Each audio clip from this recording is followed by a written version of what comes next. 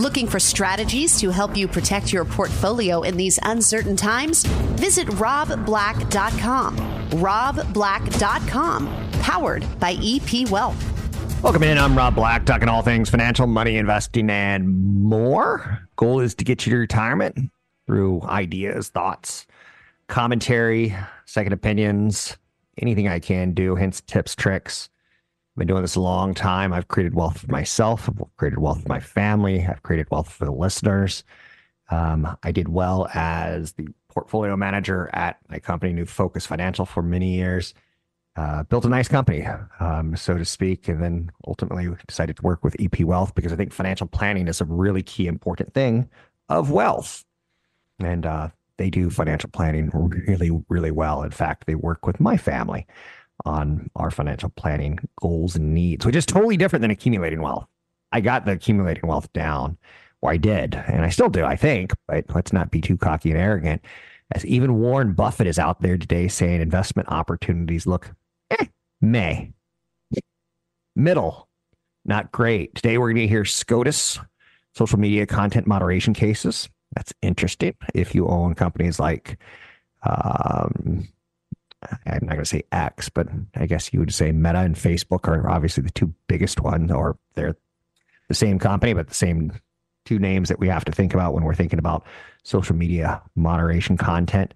Uh, Twitter does fall into that world, or X, and moderation. Snap, not so much. Google, a little bit. Um, but you get the idea of what's what's and Google's particularly by YouTube, by the way, is what I was implying. So what else do we get?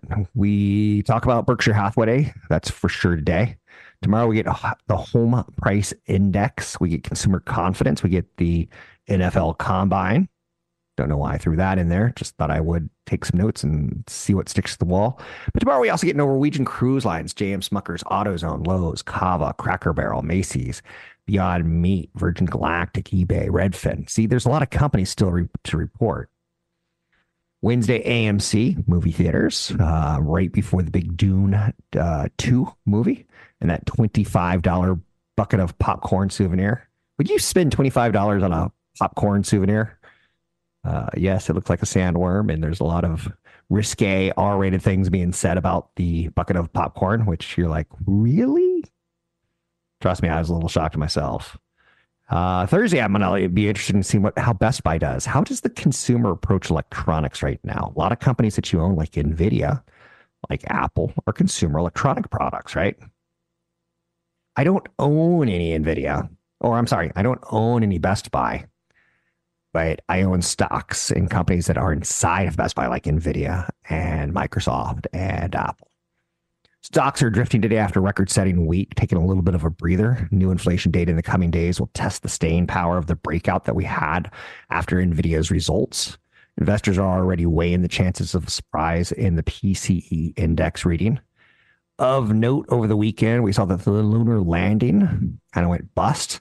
Intuitive Machines Odysseus sent back first images of the moon. Cool. But its landing gear got stuck sideways while touching down it tipped over and it's going to run out of power as the solar panels stop working when they're not facing the sun. Um, so tomorrow morning, that mission is a bust. Stock is down 30% in trading from Friday to Monday. Tesla rival BYD out of China. Some people think that's the, the electric car play. I'm just not playing anything that manufactures cars, even if they're electric and or not. I know that makes me a snob, but I won't buy airlines. I learned that lesson from Warren Buffett some 50 years ago, uh, maybe 45 years ago. I'm not buying it. Airplanes companies, I'm not buying uh, car companies. Now, again, I do own Tesla in an S&P 500 index for sure, uh, but you get the idea. I won't uh, take on that specific risk, even though I think the company probably has upsides from here. This is the first time I've been interested in Tesla in many, many, many, many years. Tesla rival BYD is going to introduce a supercar to take on Ferrari. Uh, only $233,000. The U9 will be able to reach a top speed of over 192 miles per hour and go zero to 60 in about two and a half seconds. In a pea protein pickle, Beyond Meat reports tomorrow their stock is down 50% since the start of last year. Um, I tried Beyond Meat and I put it in like a red sauce for spaghetti and with my children, and it was fine. The problem was it was really salty and it was more expensive than than beef, ground beef. And um, long story short, um, the meat lobby outspins the anti meat lobby or alt meat competitors by 190 times. CVS is partnering with Grubhub to deliver goods from 6,000 stores in 48 states. I think that's really cool. As I've aged 25 years ago, I would have said, eh, I don't really need anything from Rite Aid or CVS or what have you. Um, now, as I'm aging, my driving's not great at nighttime. It, it's, I don't know, if it's ocular issues or what have you, but I do not like being on dark roads. I don't mind being on highways, but the dark roads freak me out a little bit. Um, and I just drive slower. I'm fine. Haven't been in an accident in 25 plus years. Uh, have been in accidents I've caused in 35 years, but you get where I'm going at with that. Um, CVS is partnering with Grubhub to deliver goods from 6,000 stores. I think that's a good story. I like that. Warren Buffett is splashing water on the stock market, saying it looks meh. The 93 year old greatest investor of all time said there's no possibility of eye popping performance in the coming years. He's made plenty of deals in the past to pump money into companies like Geico and Dairy Queen, insurance giant Alleghany, but he's not seeing anything. Back in the start of 2022, he poured 50 billion into stocks, but those days are in the past because we're deep into 2024. Company Berkshire Hathaway will pursue anything that looks unique and lucrative, but right now, not many businesses seem to be exciting Warren Buffett last big investments were in some Chinese um, securities companies, stock companies. Berkshire Hathaway has a record $168 billion of cash, telling you record level of cash. That's a little problematic. Can't find anything to buy. He's the greatest investor of all time considered in value. And he's just not that excited. That tells me there's a lot of stocks out there now, how many of them would, would be needle changing moments for Warren Buffett? That's tough to say. Not many. Warren Buffett said, though, over the weekend, he doesn't like stock apps. He says the market now exhibit far more casino like behavior than they did when I was young. The casino now resides in many homes and daily tempts the occupants. True. I have a, a listener who's asking me what he should do with NVIDIA, and I can't give specific advice. Um, I can talk about it later in the show, but I cannot give specific advice on what you should and shouldn't do. I don't know you. Uh, Dune 2 is going to hit theaters on Friday, $26 sandworm popcorn bucket. Um, Hollywood needs this because in the last four years, three years, I can think of uh, Avatar, The Way of the Water, that brought in 2.3 billion. Barbie, Oppenheimer, and then I start losing like what was big? Anyhow and anyway, I'm Rob Black talking all things financial money investing and more. Stay with me. The show will get better. I promise. I have lots of content. It's a fresh start to the week after taking a couple days off to enjoy my family and a little bit of skiing on ski week in California. Don't know what that is. It's a whole week off to enjoy skiing. Weird.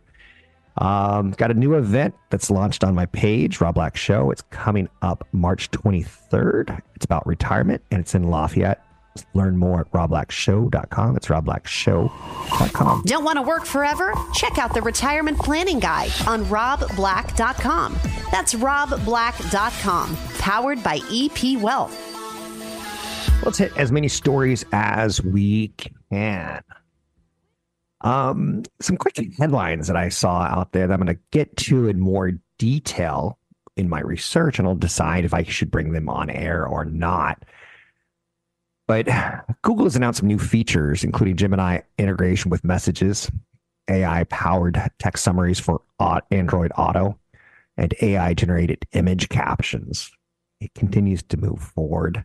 The question is have we really found something that's truly spectacular?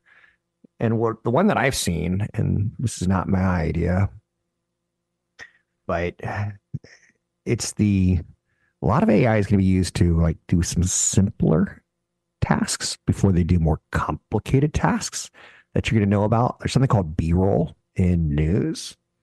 And B roll might be I do a story about a single woman retiring with 1.2 million. and she retire on that? And if I were to create a video out of it, I can ask AI, um, I can type in um, show me a 70 year old single woman concerned about her finances. And that may not be the right prompt. It may take a couple times. Show me a 70 year old single female um, worried about paying her grocery bills and how long her finances will last in retirement. And the B roll footage is pretty darn good. Now, if I had to go out and pay stock photographers and everything like that for that, that's going to cost me an arm and a leg to either shoot the video or to buy the video. Um, so AI is still really interesting out there. Qualcomm has unveiled an AI hub, a new library of 75 plus pre-optimized AI models. I think Qualcomm has an interesting play here. A suite of AI, 5G, and Wi-Fi devices at Mobile World Congress in Barcelona. That's going on. Apple is considering a fitness ring, smart glasses, and adding cameras and more advanced AI to AirPods. Adding cameras to AirPods, um, but not actively developing these devices, just in the research lab, so to speak. I find um, doing research on research to be part of the job. Amazon and Uber investors, they've got a lot to think about right now as those stocks are joining the Dow Jones Industrial Average. I own both Amazon and Uber. I told you mid last year that I was buying Uber as I saw two quarters of profitability and I saw two more quarters and they could be added to the S&P 500 and they were. And that kind of came to fruition. It's a long-term hold for me. It's not a trade. Um, but I got in at a trading valuation because I did my research and I shared it with you on this show. Amazon and Uber are replacing JetBlue Airways and Walgreens, Boot Alliance, and the Dow Jones Industrial Average. Plenty of market research uh, shows that stocks deleted from index often outperform the stocks that replace them. So um, Uber is going to the Dow Jones Transports, Amazon is going to the Dow Jones 30 Consider what happened the last time the Dow's composite changed. Salesforce replaced ExxonMobil. Since then, ExxonMobil's trounced Salesforce shares, producing an annualized return of 36% versus 9.2% for Salesforce. It's something to think about that the people who do the Dow Jones um, indexes or indices sometimes are behind the curve, that they, they add names after they've had a big run. Interesting though, right? Now again, this is just a study, but I'm already looking at the next companies to be added to the S&P 500. That's part of what the research I do. I've shared with you through the years. I like total addressable market. I like companies with 100 million to 1 billion plus users. Uh, that's TAM, total addressable market. I like companies that maybe they're one of two options like Spotify or Apple Music for your music needs on your entertainment maybe through your phone, you know? I like companies that have a leadership position. Um, I told everyone I was buying NVIDIA last year when the stock was in the low 100s, in large part due to the idea, the concept um, that they were a leader. And I like buying the Magnificent Seven when they're 10, 20, 30, 40% from their all time highs. 40% is a screaming deal to me, potentially, as they make the best AI chips and they also make the best um, GPU chips, in my opinion. Now, again, no disrespect to AMD. I just, if you got to choose one, that's what I'm going to say. Um, on top of that, um, NVIDIA has, if you take a look at the last six quarters, you can see that they have now one more quarter to go that looks truly magnificent on a year over year. I look at quarters on a year over year, but also look on a quarter to quarter. The quarter to quarter growth this quarter wasn't as spectacular as the previous quarter, but the year over year still was.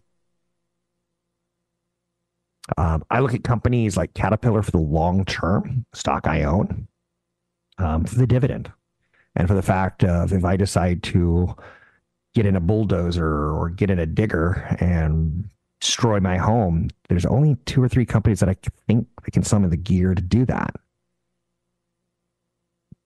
You with me? You against me? You got to choose a side because this is a civil war.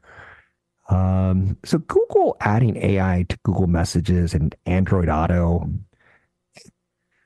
That's not something that gets me excited. I actually like the numbers of their quarters before I look at like, oh, that's a good press release. Today we're seeing kind of a little bit of a mixed market, a meh market, if you will. Buffett said it. He's built last, but he's uh, not exactly excited about anything in the stock market because he's got a record amount of cash. He's buying back his own shares more so than he's buying other companies. Read a cute review in Wired magazine where a woman watched a lot of sad movies in her Apple's headset, the Apple Vision Pro and she talked about it was strangely emotional. The weight of the headset and the aloneness distracted her from the movies. And she said that when she took off the headset, the, the rubber band, the rubber material at the bottom was soaked because she was crying ceaselessly in a high voice, crying in hiccups and uh, crying out loud. I enjoyed that review by her that it put her in a emotional state, but that she didn't really like being in an emotional state by herself where she couldn't really monitor her emotions. Um, don't know what we're going to make of the Apple Vision Pro yet, do we? The sales numbers are impressive. The returns numbers are high. But in year zero of app development, they're doing okay. We gotta kind of gotta wait to years one, two to really know more. Big event coming up March 23rd, Saturday in Lafayette. Learn more at robblackshow.com. What's the best way to choose a financial advisor? Download our guide at robblack.com. That's robblack.com. Powered by EP Wealth. I've got so much scar tissue in my body from living a tough life physically that sometimes I don't feel pain. It's worthy of note, right? Um, I was reading over Warren Buffett's notes from this weekend and his shareholder letter to these investors.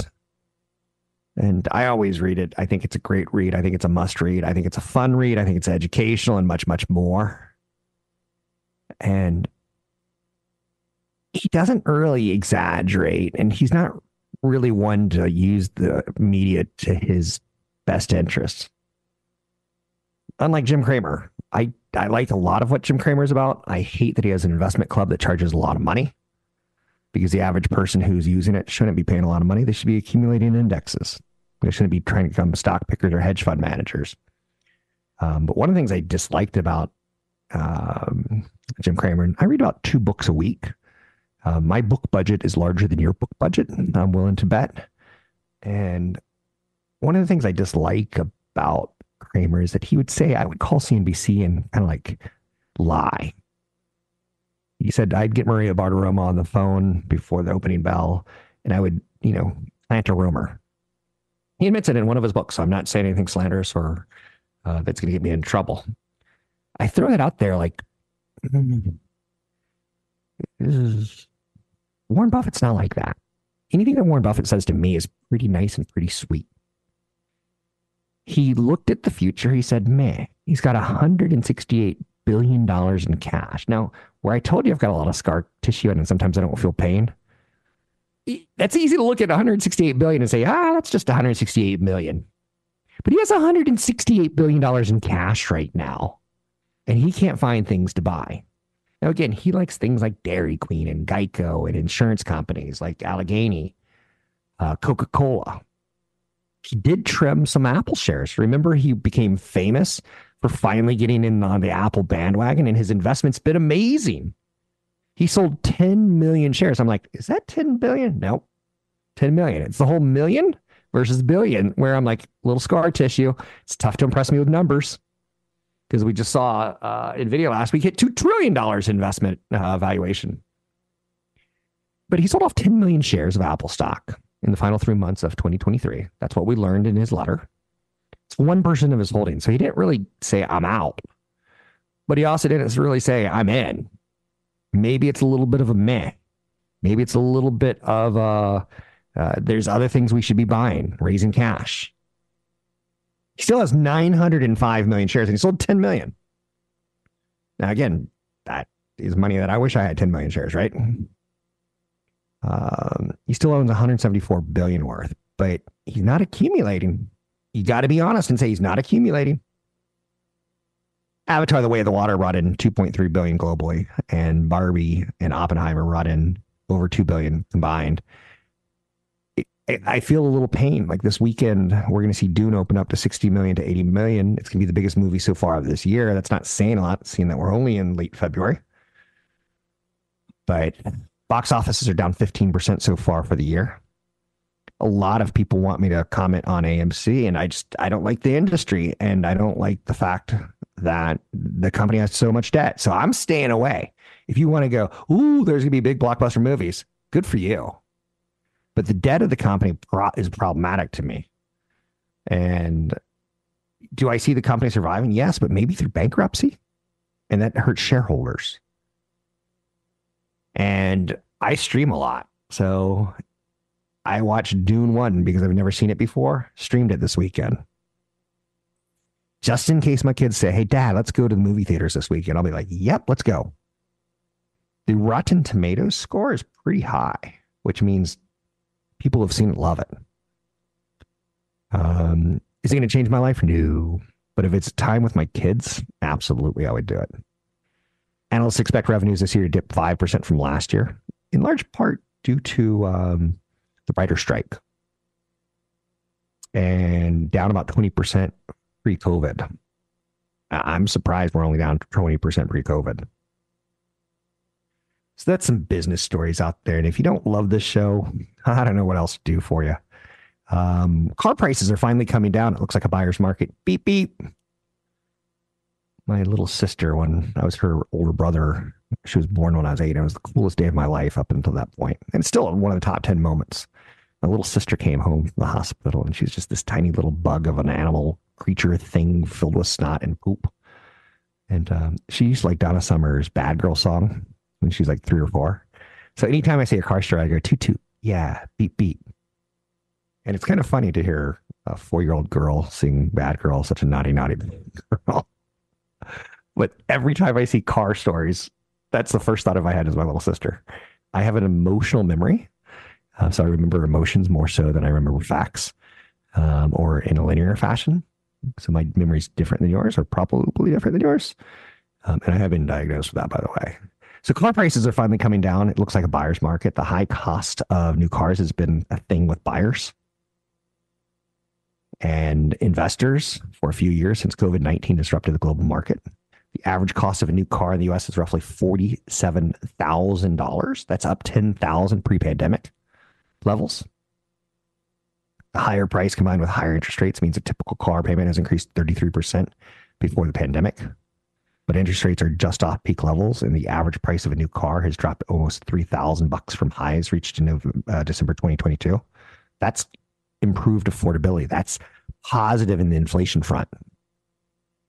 Wages have increased, and I'm not crazy about auto investments.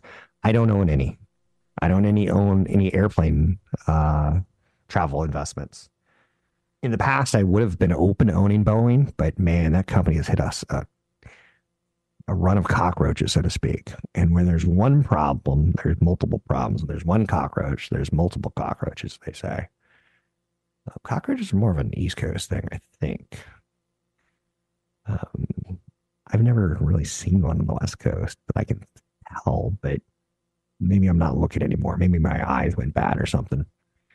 Um, but again, I'm teaching you what I've done to accumulate wealth. I've stayed away from car companies okay, I miss Tesla. That's fine. I own it in S&P 500 funds. Um, and I don't own airplane companies. And I don't like the industry. You saw American and uh, another airline last week raise luggage prices. And I, I just think they're glorious buses in the air. Um, United Airlines, I, I don't like the company. Uh, my kid went to Boston to see his friend that moved away from California because the California got so expensive uh, 10 days ago, 15 days ago. He went part of his winter break. And the best flight was United from SFO to Boston. And, um, you know, he's flying out and the ticket's maybe 400, 350, let's say, round trip. But then the bag cost and the seat to get a seat assignment cost. And like suddenly $400 plus taxes, almost 500 plus the seat assignment is 560 plus a bag is, well, they raised it from 30 bucks, 35 or 35 to 40, depending on if you do it online or not. And I just don't like the industry. So I just see it as a big bus in the sky. And I've never been on a bus and gone, wow, this is a great bus. This is a great bus. I've looked at airlines as taking me from point A to point B. Um, now I'm getting the age and, and the wealth level where I can fly first class. If I were to go to Europe, I'd fly first class. Um, only because I have wealth. If I still accumulate wealth, there's no chance on the planet. Zero. Um, you do what you do. I'm just telling you what I've done. Maybe it helps, maybe it doesn't. And I totally get that. Earlier in the show, I talked about how Amazon joining the Dow Jones Industrial Average today was a negative potentially, as a lot of times the stocks are kicked out so that we can add one more to the 30. Uh, you got to kick one out to add one. A lot of times the ones that are kicked out tend to do better, as evidenced many years ago um, when ExxonMobil got kicked out and they got replaced with a tech company that the Dow was like, oh, it's going to be a big tech company. But long story short, ExxonMobil then went on a tear up and kind of made people look silly. Do I wish NVIDIA was involved in the Dow Jones Industrial Average 30 and not Intel? Yeah, I do. Yeah. The three largest tech stocks in the Dow by market cap as of Friday are Apple, Microsoft, and Salesforce. Uh, Walgreens getting kicked out seems to be a negative for Walgreens, but will they be a winner now? That's a good question. There is a question though. Uh, the Motley Fool is another group that I don't really like. And again, I'm just giving my personal experience. I tend to find that the Motley Fools in the early 90s that I think they did a really, really nice job of getting average people into the stock market because they had that brother approach to this is how our dad made money. He accumulated it. And then they sold out and the company became more corporate and it aimed on how do we get the average investor invested? And I don't really consider them financial advice. I consider them second opinions from a friend. Um, but yeah, the post that I just saw from about three years ago is NVIDIA about to replace Intel in the Dow. Isn't that funny? That would have that would have pushed the Dow to record highs, to say the least, a little bit faster. Anyhow, and anyway, you can find me online at robblackshow.com. It's robblackshow.com. Anything you want to talk about, we can talk about money investing and more. I do have a new event coming up March 23rd, 10 to noon on a Saturday at the Don Tatson Community Hall. It's Crafting Your Retirement with a woman, Stephanie Richmond. I'm Rob Black, talking all things financial. Sign up at robblackshow.com. Questions about Social Security? Check out the Social Security Retirement Guide at robblack.com. That's robblack.com, powered by EP Wealth. So I was talking about fact checking myself on the air. There will be errors on this show, and you should always consult a broker advisor to take any action on any stocks ever mentioned. Um, I did fact check myself to make sure that Intel was involved, truly involved, indeed still in the Dow Jones Industrial Average 30, in case I missed the day that they were reshuffling. I don't know. Um, maybe I'm getting senile. I don't think so.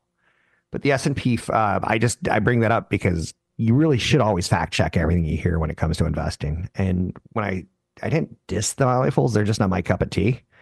I, I don't like that group. Hey, we have a newsletter out, and hey, we have a new recommendation. Um, that's not my thing. I think the brothers were truly gems when they would talk about how their dad taught them about investing. I, I hope none of that was embellished because it was truly sweet. I have a funny story about the Motley Fools. I used to share an office in the same building as they did on Duke Street in Alexandria, Virginia.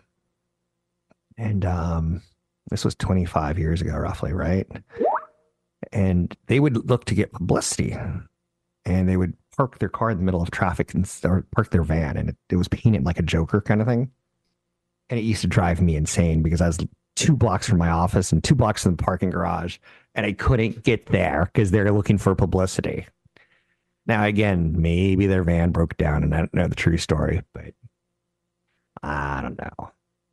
Um, so today I'm looking at ding, ding, ding, ding, ding, ding, ding, ding, ding, um, the market numbers. I'm seeing oils higher. That's very interesting to me.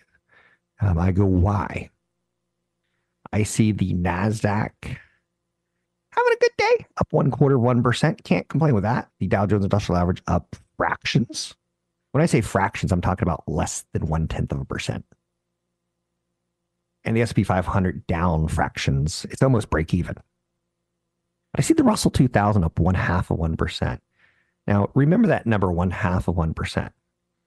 Um, so far for the year, the S&P 500 is up 6.7%. Last week was a glorious week to be an investor. Big move up in the S&P, the Nasdaq, and the Dow. So the S&P 500 is up 6.7% for the year. The Nasdaq's up 6.6% for the year. The Dow Jones Industrial Average up 3.8% for the year. And it's the end of February. So let's say we got that's that's times those numbers by six because we're you know two done for the year, one sixth done for the year. If we were to boil down our fractions, uh, do we think the S and P 500 is going to end up 36 percent for the year? The Nasdaq 36 percent for the year. The Dow 19 percent for the year. The S and P 400 mid cap is down is up 2.8 percent for the year. Um, that could realistically be up 13, 14% for the year. And the Russell 2000 is down one half a percent. Now, remember, I just said for the year, the Russell 2000 is up one half of a percent for the day and down one half a percent for the year. Let's break even. If you were to say to me, how do you feel about those five indices? Which one do you like the best? I'd probably say the Russell or the S&P mid, S&P 400 mid um, because we've had a big 14, 15 months in the NASDAQ and the S&P 500. I really don't care about the Dow Jones Industrial Average 30 because it's 30 stocks and some of them I like, some of them I don't. So why would I care about that? It's not reflective of anything to me. Um, anyway, that's just some market numbers year date. There you go. Um, women and investing. Women need to know things before they retire. Uh, one woman uh, I saw a recent article on that she remarried, uh, got a second husband, and then she got a notice from the IRS. Guess what? You owe sixteen hundred dollars because your husband owes back taxes. Whoops! Is that a reason for divorce? That he didn't tell you that before you got married? The husband blamed his ex-wife for not filing their returns properly. Then a few months later, the IRS put a levy on their joint bank account and froze the funds. Her husband again blamed his ex wife, but it turns out that withheld taxes weren't being paid to the IRS. After two years of wrangling, this 64 year old woman forked over $50,000 to clean up the debt and clear her name. Um, there were no signs that he wasn't financially stable. There was no reason for her to think that there was a financial issue. There was no reason for her to think he had an IRS problem.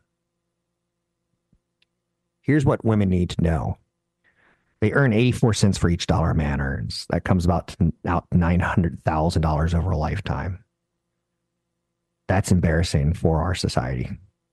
We should take better care of women. I'm not saying we should take less care of men. I'm saying we should take better care of women. Women have substantially less saved in retirement accounts than men. Women tend to live more years in retirement and need more money to live in retirement because there's a greater chance the longer you live that you're going to drain your sources of income. Women represent 55% of all Social Security beneficiaries 60 and older, and their percentages rise as the senior population ages. Let me say that again slowly. Women represent 55% of all Social Security beneficiaries 60 and older, and their percentage rises as the population ages. Men tend to die off quicker. About 63% of Social Security beneficiaries are now over 85 are women. 63% of over 85 are women. The highest percentage of divorces involving couples are between the ages of 55 and 64. So, women in retirement and women and figuring out what Social Security means and everything else in that number is super important. I do look at women as different investors than men. I wish times I had uh, a woman co host or maybe a guest host once a month, uh, once a week, um, that can speak to these issues because I can't do it as well as a woman could. One. A spouse's death opens a Pandora's box of financial issues that surviving women learn that they have to contend with. There's a term in the financial industry called widow brain. There's so much that you have to do My mother was lucky that she had a son in finance and another son who was a lawyer who was able to, to basically hold her hand because she was not financially savvy. She passed away a couple years ago due to COVID. I miss her. Um, anyway, I'm going to be doing an event with a woman. I'm very excited about this. Stephanie Richmond, she's one of the top CFPs in the nation, female CFPs. Saturday, March 23rd, 2024. It's coming up 10 a.m. to noon at the Don Tatzin Community Hall, Lafayette Library. It's going to be about crafting your retirement. So I'm going to be on the East Bay with a female CFP. I couldn't be more excited. Coming up in about a month on a Saturday. Sign up at robblackshow.com. This one always fills up. robblackshow.com. For more information about EP Wealth, visit robblack.com. That's robblack.com.